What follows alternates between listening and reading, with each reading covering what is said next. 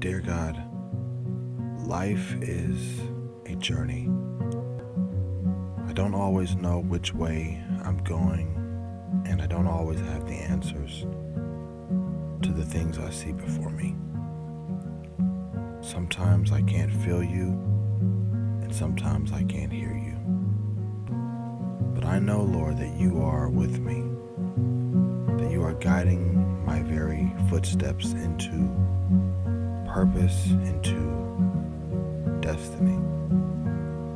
I trust you, Lord, even when all that I see is opposite from what I believe. I am embracing my destiny, embracing that I have been chosen to make your name great. You are the Alpha and the Omega.